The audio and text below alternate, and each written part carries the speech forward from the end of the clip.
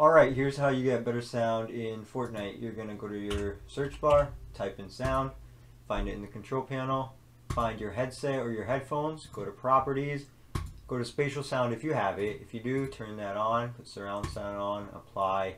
Then you're going to go to enhancements. You have these three.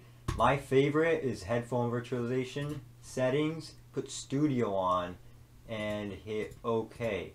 You could mess around with the rest. They all have settings here where you can specify your bass boost or your loudness. But I tried them all out and it was a little too echoey for me with most settings.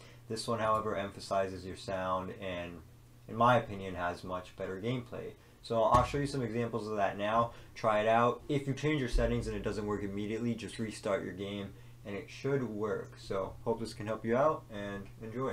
Here's some clips.